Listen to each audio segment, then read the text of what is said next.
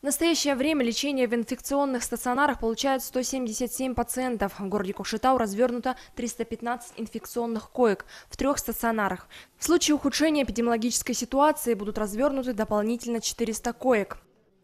За апрель месяц зарегистрировано 73 случаев. При опросе больных установлено, что источниками инфекции в двух случаях явились контакты по месту работы.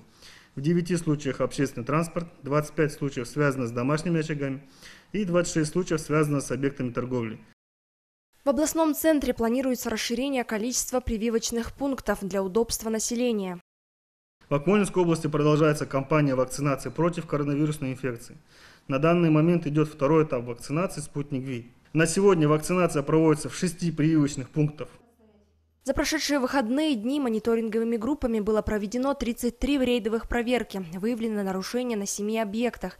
Несмотря на послабление карантина в Акмольской области, работа мониторинговых групп продолжается. Муслима Асхатова, Дархан Мужубаев, Кокщах Парад.